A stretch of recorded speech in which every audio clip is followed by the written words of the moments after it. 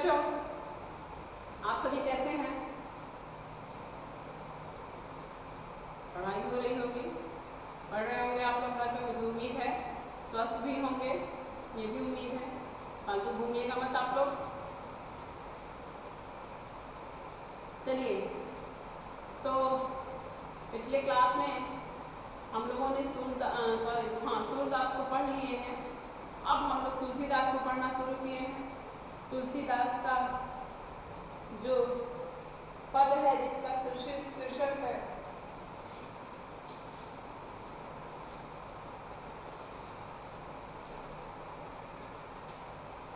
धनुष भंग।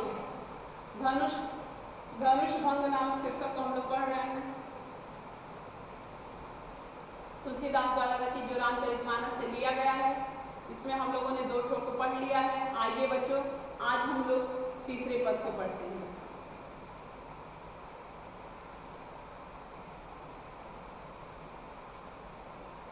परम मंत्र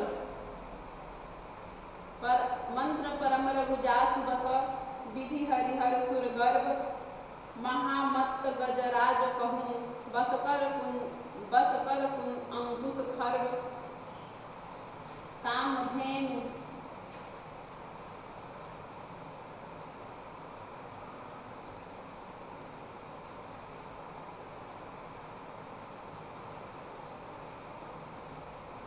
आगे बढ़ते हैं बच्चों काम धेनु काम कुसुम धनु सायक लीन है सकल भुवन। अपने बस कीन है देवी तजौ संशय अस जानी। भंजब धनुष राम सुन रानी। सखी बचन सखी बचन सुनी। भय परितीति मिटा विषाद बढ़ई अति प्रीति। तब राम ही विलोक वैदेही सभ हृदय। विनती विनवती जेहि ही मन ही मन मानव अकुलानी हो प्रसन्न अकुलानी हो प्रसन्न महेश भवानी करम सफल अपनी आपन सेवकाई कर दिहूँ हरम चाप गुरुताई गणना गणनायक बदनायक सेवा देवा आजू लगे करे तुम तुम तौ सेवा बार बार बिनती सुन मोरी करम चाप गुरुता अति थोड़ी प्रस्तुत पद संदर्भ में जब सीता जी की माता को सखियाँ समझाती हैं तो उनका जो मन में राम के प्रति जो भय था, वो समाप्त हो जाता है और वह आनंद को प्राप्त करती हैं। आइए इसका व्याख्या देखिए। क्या कर रही हैं? कि मंत्र परम रघु, लघु, मंत्र परम लघु, जासु बसव, विधि हरिहर सुर गर्भ महामत गजराज कहूँ, बस कर अंकुश खर कह रही हैं वो सुनैना जी की सखी है कि, हे रानी, मंत्र तो बहुत छोटा है। मंत्र परम लघु लघु मतलब छोटा, परम मतलब बहुत। मंत्र तो जो है, वो बहुत छोटा होता है, उसको तो कहीं लिख सकते हैं, पढ़ सकते हैं। मंत्र बहुत देखने में भी छोटा होता है, लिखने, पढ़ने, सुनने सब में छोटा है। मंत्र तो परम मतलब बहुत छोटा होता है लेकिन फिर भी वे अपने बस में सबको कर रखता है किसको करता है विधि हरि सुर गर्भ। विधि मतलब ब्रह्मा, हरि मतलब विष्णु और हर मतलब भगवान शिव। क्या है बच्चों? विधि विधि का मतलब ब्रह्मा, हरि का मतलब विष्णु और हर का मतलब भगवान शिव शुद्ध देवता। करें कि मंत्र बहुत छोटा होता है, लेकिन फिर भी वह ब्रह्मा, विष्णु, महेश आदि सभी देवताओं को अपने वश में कर रखता है। मंत्र बहुत छोटा होता है, लेकिन फिर भी वह ब्रह्मा, विष्णु, महेश आदि देवताओं को अपने वश में कर लेता है। हे सखी, हे रानी, कामदेव का धनुष तो कुसुम का होता है मतलब फूल का। काम, कुसुम, धनु। धनु मतलब धनुष, कुसुम मतलब फूल। कहें कि कामधेनु का धनु सॉरी कामदेव का। कामदेव का धनुष जो है, वह तो कुसुम अर्थात फूल का होता है लेकिन फिर भी वह कामदेव जो है अपने कुसुम के धनुष फूल के ही धनुष को लेकर के सारे भुवन को अपने बस में कर रखा है। अर्थात सारे भुवन, अर्थात सारे पृथ्वी को अपने बस में कर रखे हैं। देवी तजम संशय अस रानी हे रानी, ये सब जान करके सब सुनने के बाद अब आपके मन में जो संशय है, उसका आप परित्याग करिए। क्या कर रहे हैं वो सखी? सुनैना जैसे कि, हे रानी, इतना सब जानने के बाद, इतना सब जब मैंने आपसे बताया तो इसके बाद आपके मन में जो संशय है, उस संशय का आप त्याग करिए, परित्याग करिए। भजब धनुष धनुष, राम सुन रानी, हे रानी भंजब मतलब तोड़ना। हे रानी, धनुष कोई तोड़ेगा तो राम ही तोड़ेंगे, आप परेशान न हो। हे रानी, धनुष का भंजन कौन करेगा? राम ही करेंगे। धनुष कौन तोड़ेगा? राम ही तोड़ेंगे, आप परेशान न हो। सखी वचन सुनी भय करती थी मिटा विषादु बढ़ाऊ अति प्रीति। करे कि अपनी सखियों के द्वारा ऐसा वचन सुन करके, रानी के मन में जो राम को लेकर की शंका था, संदेह था, वह शंका अब समाप्त हो गया। कह रहे हैं तुलसी बाबा कि सुनैना जी के मन में जो राम को लेकर के संदेह था, भय था, शंका था, वह अपनी सखियों की ये सारी बातें सुनने के बाद उनके मन से ये शंका समाप्त हो जाता है, मिट जाता है। मिटा विषाद बढ़े और प्रीति। और राम के प्रति उनका और ज़्यादा स्नेह जो है वो बढ़ जाता है। क्या कर रहे हैं? कि सखियों की बात पे यकीन करने के बाद, सखियों की बात को सुनने के बाद, रानी के मन में, सुनैना जी के मन में राम के प्रति जो भय था, संदेह था, वह भय और संदेह अब समाप्त हो जाता है और राम के प्रति उनका प्रेम जो है वो और ज़्यादा बढ़ जाता है तब राम ही बिलो की बैदे सभय हृदय बिन वही रहते उसके बाद श्री रामचंद्र जी धनुष तोड़ने के लिए जा रहे होते हैं और श्री रामचंद्र जी वैदेही अर्थात सीजा, सीता जी की तरफ़ देखते हैं। बिलो की मतलब देखना, वैदेही मतलब सीता जी। रामचंद्र जी सीता की तरफ़ देखते हैं और जैसे ही श्री रामचंद्र जी सीता की तरफ़ देखते हैं, सीता जी ने देखा कि श्री रामचंद्र जी हमारे तरफ़ देख रहे हैं सभय हृदय बिन वही रही वो अपने हृदय में भी सभी देवताओं को देखते ही जैसे तैसे अपना विनती करने लगती है, मनाने लगती है। अपने मन ही मन में सभी देवताओं का जैसे तैसे जही तही मतलब जिस जिस देवता का, जिस जिस देवता का मनाने लगती है, जिस जिस देवता को याद करने लगती है। क्या कहते हैं?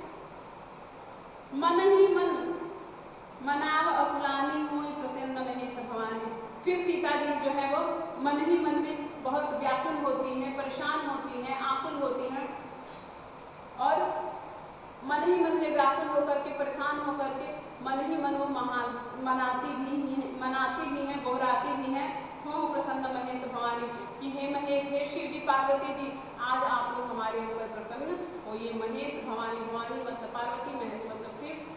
हे महेश भवानी, हे शिव पार्वती जी, आज आप लोग हमारे ऊपर प्रसन्न हो जाइए। करम सफल अपनी सेवकाएँ, कर हित हरम चाप गुरुताई कह रही है आगे कि मैंने करम सफल, मैंने जो आपकी सेवा की है, उसको आज सफल बनाइए। कह रहे हैं कि हे महेश भवानी, आज आप लोग हमारे ऊपर प्रसन्न हो जाइए और मैं जो आप लोगों की सेवा की हूँ, मैं जो आप लोगों की सेवा की हूँ, उसको आप लोग सफल बनाइए।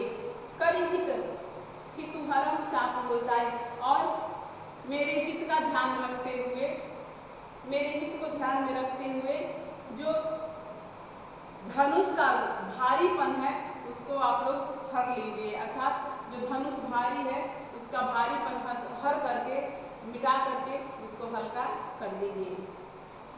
गणनायक, वरदायक सेवा। आज लगे किन करो सेवा। फिर आगे, गणेश जी की वंदना करते हुए, गणेश जी को याद करते हुए पार्वती सीता मैया कहती हैं कि, हे गणेश भगवान, आज ही के दिन के लिए मैंने आपकी सेवा की है।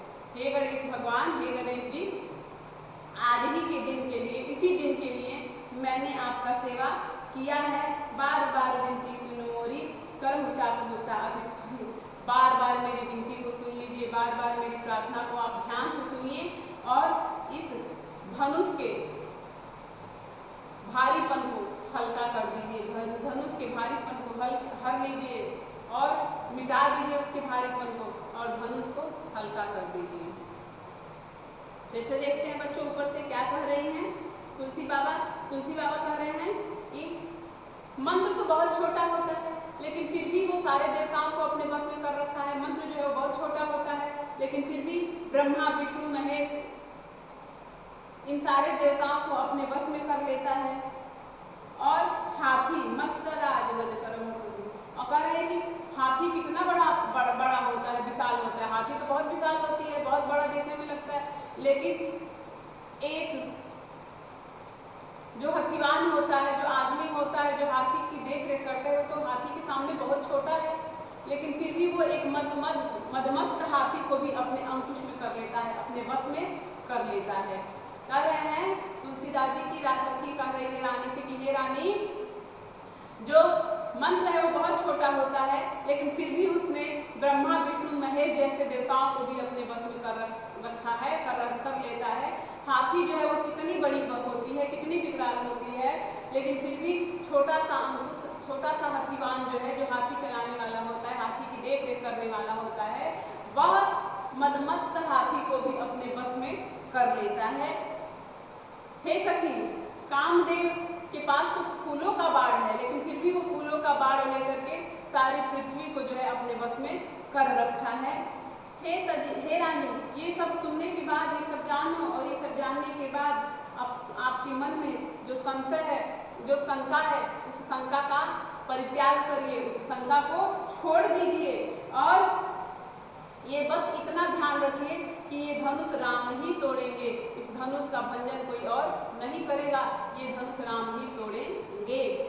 सखी के द्वारा इतना वचन सुनने के बाद उनके वचनों का विश्वास करते हुए सुनैना जी, सखी के द्वारा कहे जाने इतना वचन सुनने के बाद उनके वचनों पर विश्वास करते हुए सुनैना जी जो है वो विश्वास करती है उनके वचनों पर और विश्वास करने के बाद राम जी के प्रति उनका प्रेम जो है वो और ज़्यादा बढ़ जाता है।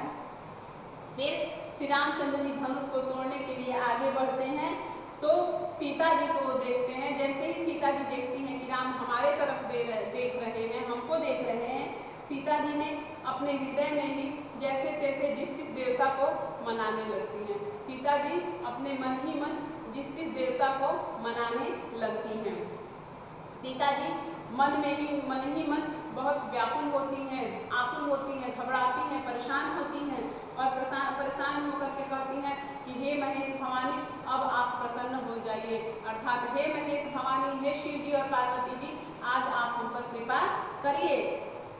और मैंने जो आपकी सेवा की हूँ, उस सेवा को आज सफल बनाइए। मैंने जो आपकी सेवा की है उस सेवा को आज आप सफल बनाइए और इस धनुष के भारीपन को हर लीजिए। अर्थात धनुष को हल्का कर दीजिए। हे गणेश नायक, हे गणनायक हे बरनायक हे गणेश जी, हे बर प्रदान करने वाले गणेश भगवान जी, आज ही के दिन के लिए, इसी दिन के लिए मैंने आपका सेवा किया था, मैं आपकी सेवा की थी। इसलिए हे गणेश जी बार बार मैं आपसे विनती करती हूँ, आपसे प्रार्थना करती हूँ कि इस धनुष की भारीपन को हर लीजिए। हे गणेश जी बार बार मैं आपसे प्रार्थना करती हूँ, आप मेरी प्रार्थना को सुनिए, स्वीकार करिए और मेरी प्रार्थना को सुनते हुए, स्वीकारते हुए इस धनुष को हल्का कर दीजिए, इसके भारीपन को हर लीजिए। ठीक है बच्चों, आज हम लोग इतना ही पढ़ेंगे। अगला कल पढ़ेंगे, रोज एक एक पद हम लोग पढ़ेंगे। बच्चों तो हम लोग देख लेते हैं, काव्य सौंदर्य शांत रस है, प्रसाद गुण है।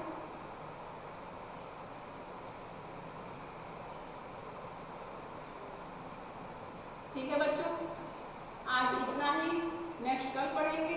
आप लोग घर पे रहिए, स्वस्थ रहिए, सुरक्षित रहिए। और वे कार्य प्रतिदिन करते रहिए। धन्यवाद बच्चों।